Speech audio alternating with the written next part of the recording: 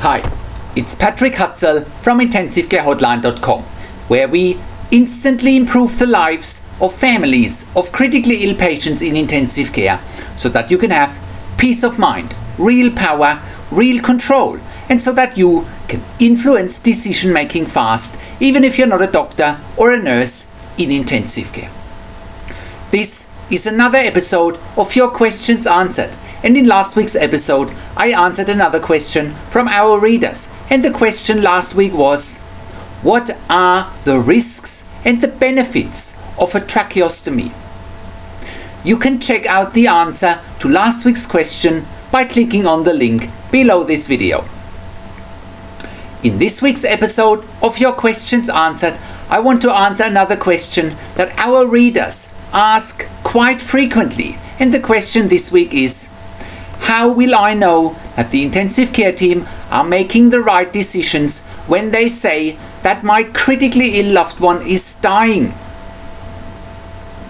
Today, I want to address another hot topic that families of critically ill patients in intensive care are constantly asking about via our website intensivecarehotline.com.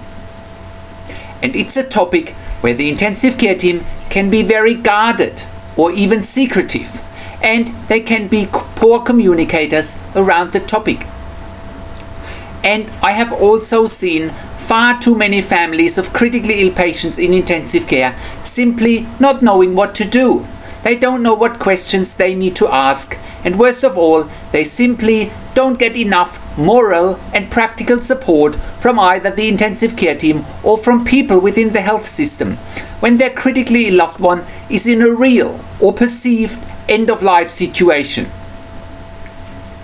Furthermore, death, dying, and end of life are not quote unquote sexy topics, not for anyone, and that includes the intensive care team as well. It takes a lot of guts and balls to face reality, to face death, dying, and end of life head on. death, dying, and end of life are not topics that our society wants to know about either, especially not, not in a culture that is filled with images and perceptions about youth and vitality, etc. Facing death dying, and end of life is a massive challenge. It means we have to face our own mortality, and it means we literally have to stare death in the eye, so to speak. And only after you know, understand, acknowledge, and even embrace that inevitably we're all going to die sooner or later. That's when you can move forward and when you're dealing with a real end of life situation or a perceived end of life situation of your critically ill loved one in intensive care. If you face head on that the death of one of your loved ones in intensive care might be a reality and or possibility, that's when you will get clarity and as a result you will have peace of mind, control, power and influence. The fact of the matter is that it's challenging for intensive care teams as well to stare death in the eye. and even though intensive care teams are dealing frequently with death, dying, and end of life, doesn't mean that they are any good at it. In fact, from my experience in more than 15 years intensive care nursing in three different countries, where I have literally worked with thousands of critically ill patients and their families, it's frequently the combination of both intensive care teams as well as the families not wanting to stare death in the eyes that can make those challenging, dramatic, frustrating, and often heartbreaking death and end of life situations very messy and it can even turn it into a nightmare. Again, it's the same for intensive care teams. Dealing with death, dying, and end of life means that intensive care teams have to face their own mortality as well. And again, the more people have come to terms with the fact that we're all going to die one day, the better and the more mature they can deal with death and end of life situations. The better they can deal with this situation, the better they can communicate with you and the better they can support you, your family and your critically ill loved one during this stressful, challenging and traumatic once in a lifetime situation. But the unfortunate reality is also that you can't rely on intensive care teams to manage death, dying and end of life situations well. And you need to take responsibility if you want the results and most of all if you want to have peace of mind, control, power and influence. So, what do I mean when I talk about real or perceived end of life situations? So, a real end of life situation is a situation where your critically ill loved one is inevitably going to die, no matter what interventions, treatments and therapies are offered. Usually, this is a real end of life situation. Examples for real end of life situations can be severe accidents with severe bleeding, multiple fractures, severe head and brain injuries, and also situations where your critically ill loved one might be septic or otherwise so unstable from a hemodynamic point of view, which means low blood pressure and or irregular heart rhythms, where no life support, no fancy equipment, no surgery, no drugs, no medication and no other intervention can save your critically ill loved one's life. Examples for perceived end of life situations are situations where your critically ill loved one is in a situation where the intensive care team thinks that a withdrawal of life support or a withdrawal of treatment might be quote unquote in the best interest of your critically ill loved one.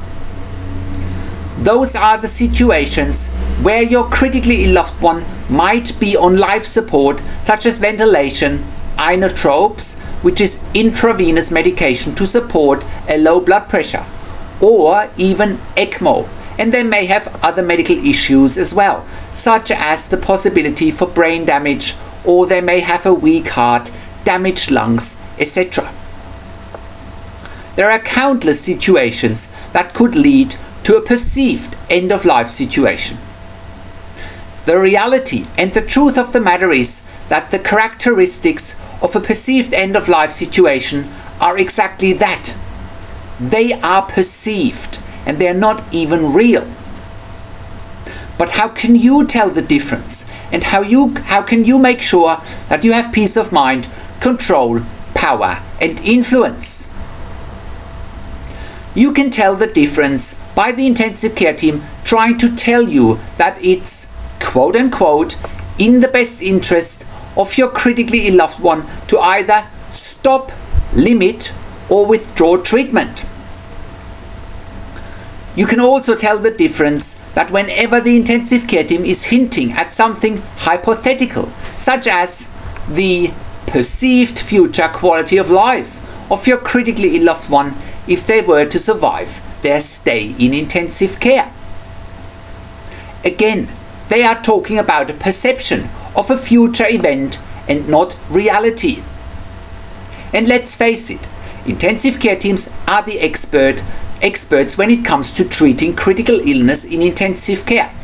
However, they are not the experts when it comes to how a patient's quality of life looks like after their stay in intensive care. As soon as patients leave intensive care, the intensive care team has no idea what a formerly critically ill patient's life looks like in six months' time. And again, your job is to know what you want, know your critically ill loved one, know your family, and also know what outcomes that you want and then relentlessly pursue it. The truth of the matter is that whenever the intensive care team is suggesting a withdrawal of treatment or a limitation of life support as being quote unquote in the best interest of your critically ill loved one, you need to be on high alert. And you need to be you need to understand that this positioning is often a direct result of what's happening behind the scenes in intensive care. whenever the intensive care team is talking about a withdrawal of treatment or a limitation of life support being quote unquote in the best interest of your critically ill loved one, your alarm bells need to go off and you need to be on high alert. The 99% of families of critically ill patients in intensive care who have no peace of mind, no control, no power and no influence take everything for face value the intensive care team is telling them. And they don't look behind the scenes, they don't question, and they don't do their own research. Your job is to know that whenever the intensive care team is painting a doom and gloom picture, and whenever they are talking about their perception of a withdrawal of treatment or a limitation of life support as being quote unquote in the best interest of your critically ill loved one, it often is a direct result of the interests of the intensive care teams, such as the financial interests of an intensive care team. For example, will they meet their budget targets when they continue treating your critically ill loved one? Or do they think that they won't be meeting their budget targets if they continue treating your critically ill loved one? Also, the bed management pressures of an intensive care unit. For example, does the intensive care team experience pressure on their expensive, precious, scarce and in-demand intensive care beds and do they want to give preference to other critically ill patients needing an ICU bed? Also, the medical research interests of the intensive care team. Medical research is a multi-billion dollar per year revenue generator for intensive care units and a positioning tool as well. The medical research interests of intensive care units are massive and quite frequently impact on the positioning of your critically ill loved ones, diagnosis and prognosis by the intensive care team. For example, does the intensive care team suggest to withdraw life support because they can't perform medical research on your critically ill loved one? Or does the intensive care team tell you that your loved one has a good chance of survival because they are enrolled in a medical research study where the intensive care team performs medical research despite your critically ill loved one's poor prognosis? Also, is the intensive care team not prepared to invest their emotional resources to continue treating your critically ill loved one? Is the intensive care team very academic? Are they talking in medical jargon that you don't understand? And are they detached from empathy and compassion? Do they even have a limited mindset and they don't believe that they can save your critically ill loved one's life? Are they overtly negative? No matter the situation you and your family are facing, you absolutely must make up your own mind and you must listen to your gut and to your intuition because your gut and intuition never lies it's also absolutely critical that you do your own research and it's first and foremost that you have peace of mind, control, power and influence, irrespective of what the intensive care team is telling you. How do you do that? And how can you have peace of mind, control, power and influence whilst your loved one is critically ill in intensive care? You get to that all important feeling of peace of mind control, power and influence when you download your free Instant Impact Report now by entering your email below. In your free Instant Impact Report, you learn quickly how to get peace of mind, real power and real control and how you can influence decision making fast whilst your loved one is critically ill in intensive care. Your free Instant Impact Report gives you in-depth insight that you must know whilst your loved one is critically ill or is even dying in intensive care.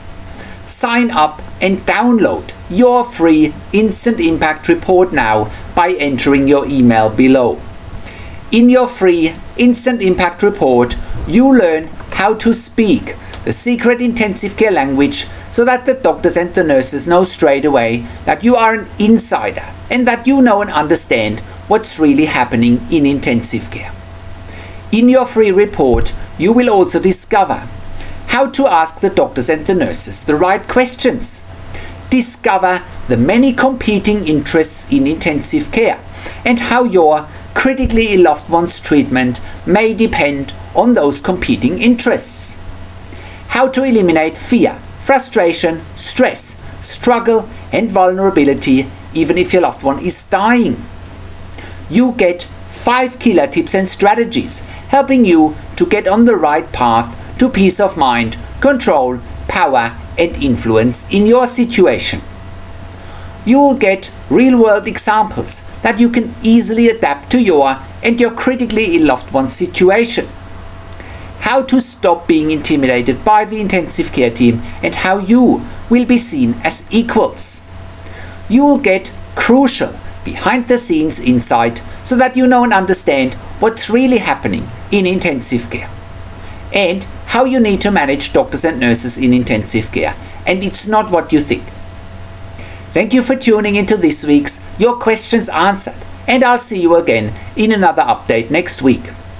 Make sure you also check out our blog section for more tips and strategies or send me an email to support at intensivecarehotline.com with your questions. This is Patrik Hutzel from intensivecarehotline.com and I'll see you again next week in another update.